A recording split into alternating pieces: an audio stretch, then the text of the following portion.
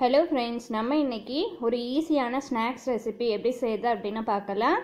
அதுக்கு முன்னாடி என்னோட சேனலை சப்ஸ்கிரைப் பண்ணாதவங்க சப்ஸ்கிரைப் பண்ணிவிடுங்க கூடவே இருக்க பெல் ஐக்கானையும் கிளிக் பண்ணிவிடுங்க அப்போ தான் நான் அடுத்தடுத்து வீடியோ போடும்போது உங்களுக்கு நோட்டிஃபிகேஷனாக வரும். இந்த ஸ்நாக்ஸ் ரெசிபி செய்யறதுக்காக உருளைக்கிழங்கு எடுத்து தோலெல்லாம் சீவிடுங்க. சீவிட்டு இந்த மாதிரி காய் சீவுறது எடுத்துட்டு நம்ம உருளைக்கிழங்க நல்லா சீவி எடுத்துக்கலாம். இது இன்னும் பெருசாக ஹோல் இருந்ததுன்னா கூட அதுலேயும் நீங்கள் சீவி எடுத்துக்கலாம். இப்போ உருளைக்கிழங்கெல்லாம் சீவியாச்சு.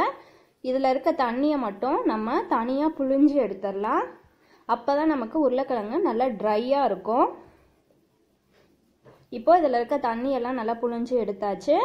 இது கூட ஒரு முட்டையை உடச்சி ஊற்றிக்கலாம் இதோட ஒரு அரை ஸ்பூன் அளவுக்கு மிளகுத்தூள் சேர்த்துக்கோங்க.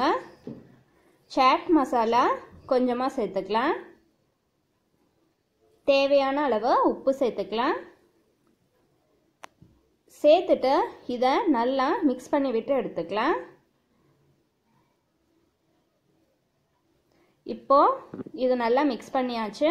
ஒரு பேனில் தேவையான அளவு எண்ணெய் எடுத்துகிட்டு இதை நம்ம எண்ணெயில் பொறிச்சு எடுத்துக்கலாம். இதை எண்ணெயில் பொரிக்கும் போது அடுப்பை சிம்மில் வச்சுக்கோங்க.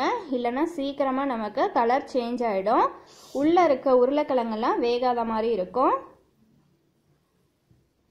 அவ்வளோதான் நம்மளோட டேஸ்டியான potato and egg snacks recipe ready ஆகிடுச்சு இந்த வீடியோ உங்களுக்கு பிடிச்சிருந்தது அப்படின்னா லைக் பண்ணுங்கள் ஷேர் பண்ணுங்கள் தேங்க்யூ